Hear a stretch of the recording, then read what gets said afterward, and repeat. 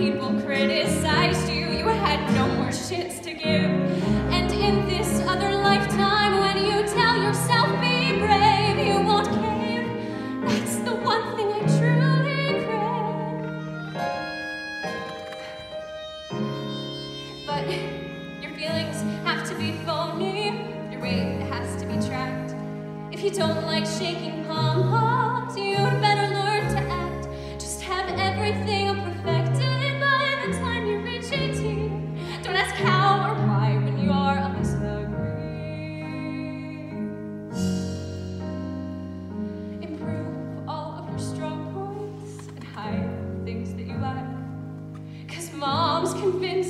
perfect, your father might come back. You're not yourself, you're not what she wants, you're someone between. Your whole life's a lie when you're Greene. I get that you want to be with me, but I can't do this anymore.